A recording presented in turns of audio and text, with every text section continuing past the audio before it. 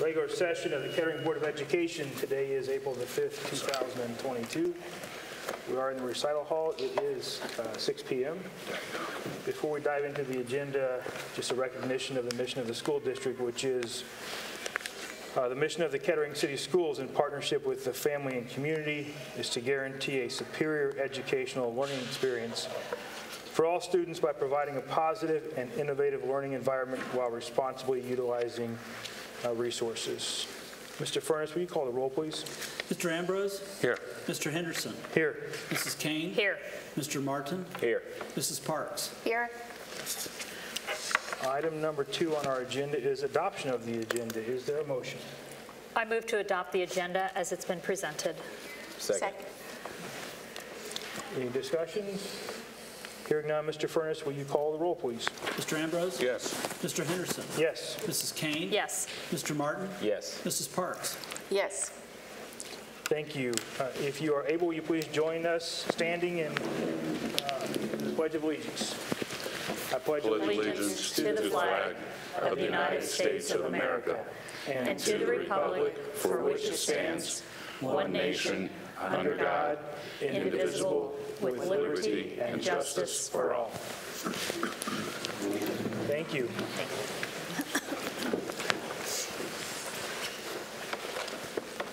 The next item on the agenda are the minutes of the March 22nd uh, regular session. Is there a motion? I move that we accept the minutes of the March 22nd, 2022 regular session. I will second that. Any discussion about the minutes? Hearing none, Mr. Furness, call the roll, please. Mr. Ambrose? Yes. Mr. Henderson? Yes. Mrs. Kane? Yes. Mr. Martin? Yes. Mrs. Parks? Yes. Thank you. Next item is uh, board committee reports. Ms. Kane, I understand you've got something to share. Yes, I wanted to update everybody on the Roush Hall of Fame. You're all probably wondering what's happening with Roush Hall of Fame. Uh, In years past, applications have been uh, due mid-March, and uh, the ceremony to recognize the honorees happened in mid-May. And I'll tell you, it's a really, really hectic time of year. Last year, because of COVID, we pushed the ceremony to the end of August, and it worked out really well. So we want to make some changes to the timing of Roush Hall of Fame. Uh, In the next few weeks, I'm going to be meeting with Carrie Basson to look at the calendar and to, and to determine um, the deadline for applications as well as when that ceremony might take place. Uh, We are looking at the fall again, like we had last year. In the meantime, we are accepting applications.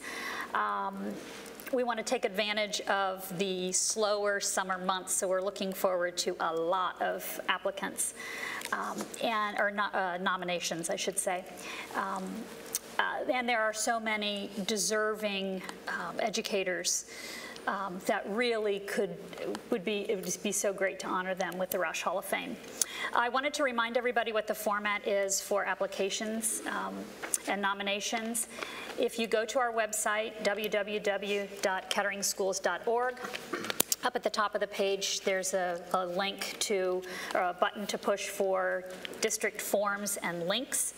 Uh, Click on that tab and then go to the links column. Uh, The online format, the online nomination is fairly easy. We're trying to make it as simple as possible um, to navigate. But as always, if anybody has any questions or concerns with navigating that online nomination form, please feel free to contact our Community Relations uh, Department. And there will be more details to come once Carrie and I um, have a meeting on this and determine when the new uh, deadline for nominations will be and when the um, ceremony will take place this fall. Thank you. Anyone else have any updates on committee reports? All right, next item on the agenda is uh, items for upcoming meetings. And my apologies, my computer is still loading, so I don't have the next three meetings in front of me. Does anybody else have Yeah. the three meetings up, please? Oh, I was going to print these for you, Mr. Henderson. Here they if are. you- Yeah. Oh, Thank you. It's good. So the next three meetings, uh, the next is April the 26th, 2022. It will be a regular meeting here in the recital hall. agenda items will include certainly personnel items, followed by May 3rd, 2022 at 6 PM, also a regular meeting here in the recital hall. And the agenda will include some personnel items. And then the, the third meeting will be May 17th, 2022, again, 6 PM, a regular meeting here in the recital hall, and we will uh, take up personnel items on the agenda. I did, thank you. I did skip an item on the agenda, which is hearing of the public regarding agenda items. Uh, There is none, uh, and so we can dispose of that particular agenda item. Jumping down to item number eight, uh, decisions of the board. I'm not aware of any uh, for approval tonight, so we can move on from that item number. Uh, Next item on the agenda is item number nine, the human capital agenda. Uh, Is there a motion? Yes, I have a motion to accept the human capital agenda excluding items 10P, and I move for approval. Second. Any discussion? Mr. Furness, call the roll, please. Mr. Ambrose, Abstain? Mr. Henderson, Uh, I'll vote yes. Mrs. Kane, Yes. Mr. Martin, Yes. Mrs. Parks. Yes. Uh, The item that was moved off the agenda, which is 10P, Mr. Martin, I will turn that over to you uh, for your disposition, please. Do we have a motion? 9P. 9P, thank you. 9P. I have a motion, and it's uh, to accept the human capital agenda with uh, the item 9P only. Second. Mr. Furness, will you take the roll? Mr. Ambrose, Abstain. Mr. Henderson, Abstain. Mrs. Kane. Yes. Mr. Martin, Yes. Mrs. Parks. Yes. Motion carries. Thank you, thank you, Mr. Martin. Next agenda item is the business services agenda. Is there a motion? I move that we approve the business services agenda as presented. Second. Uh, Mr. Miller, do you have any, any observations relating to the business services agenda you want to share? Not to the business services And agenda. I'll, I'll come back. I skipped Okay. that item you wanted to talk No, about. I just so- asked that we approve the business services agenda as written. Very good. Any discussions? Mr. Furness, call the roll, please. Mr. Ambrose, Yes. Mr. Henderson, Yes. Mrs. Kane. Yes. Mr. Martin, Yes. Mrs. Parks. Yes. All right, back on the uh, human capital agenda, uh, Mr. Miller, there was something you wanted to share with the board, or a- recognition you wanted to make, please. Yes, members of the board, thank you. With that vote, I'd like to take a moment and introduce our new Director of Business Services, Mr. Jeff Johnson, who is with his wife Deanne of 27 years. Jeff brings 20 years of educational leadership to this position, having served in two other districts as Director of Business Services, Director of Human Resources.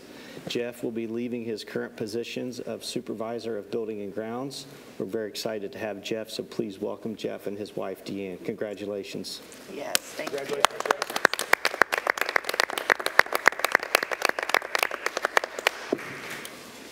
Thank you.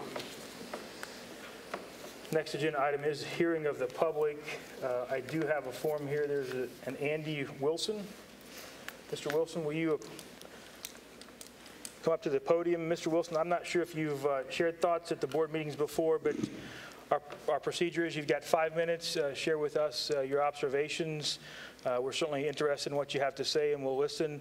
Uh, It's the custom of the board not necessarily to respond or react to what you have to say. Uh, And I think that maybe if there's a timer up there. You'll see the timer above my head there. It's typically pretty large, and so uh, go ahead, Mr. Wilson. Start out by telling us who you are and where you live, please, and then share your thoughts. Okay. Good evening. I'm Andrew Wilson. I'm a former board member of the Fairborn City Schools, and I serve on the steering committee of the Ohio Coalition of Equity and Adequacy of School Funding. I live at 442 Zimmer Drive in Fairborn. And tonight I'm here to talk about the impact that the expanded Ed Choice Voucher Program potentially has on Kettering schools.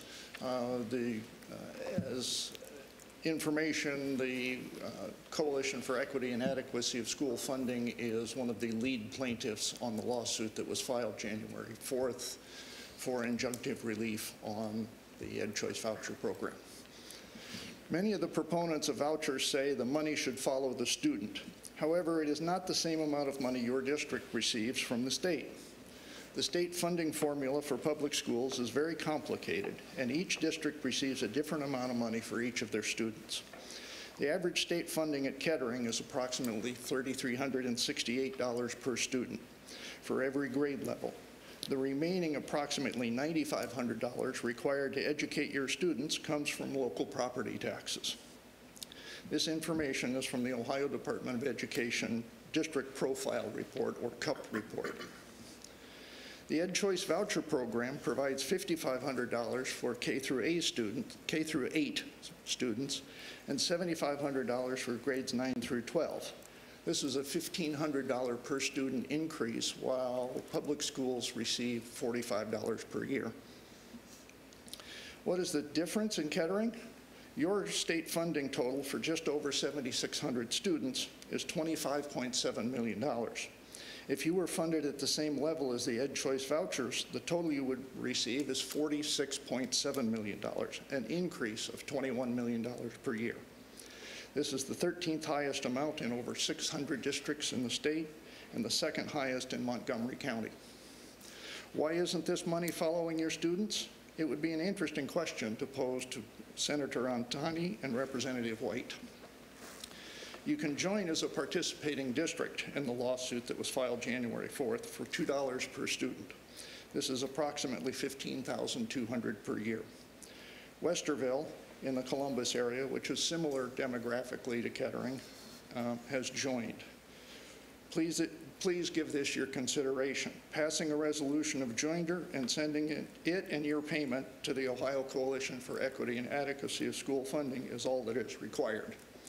Fairborn has been a party for two years, and that has been our only involvement of district and board personnel. It's not a burden on anybody to do this. It's just to help fund the lawsuit and the attorney's fees and everything else.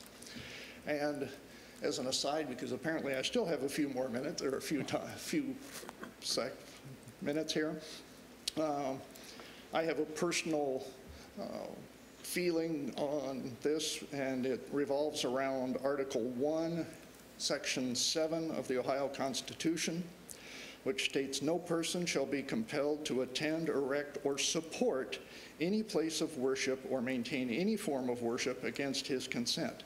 And I do not consent to having my state tax dollars given to parochial schools and supporting those places of worship. Thank you for allowing me to enlighten you and whoever may be listening. Mr. Wilson, thank you very much. Thank you. Thank you. With that, that brings us to the next agenda item, which is item number seven, uh, which is an executive session. Uh, And uh, I will move that we enter into the executive session for the purpose of consideration of the appointment, employment, promotion, or compensation of a public employee or an official. Is there a second? Mr. Furness, call the roll, please. Mr. Ambrose? It should be reflected as item 12, not 7. He's never taken Latin, so he doesn't know his numbers very I don't see very well, That's Mr. why- Ambrose. that's why I'm here for, to help him Thank out. you. You're keeping me straight. I appreciate it. The answer is yes, though. Thank you, sir. You're. Mr. Henderson? Yes. Mrs. Kane? Yes. Mr. Martin? Yes. Mrs. Parks? Yes. Time in is 6:14. Thank you. And following the conclusion of the executive session, we will not be returning to conduct any business. Thank you, everyone.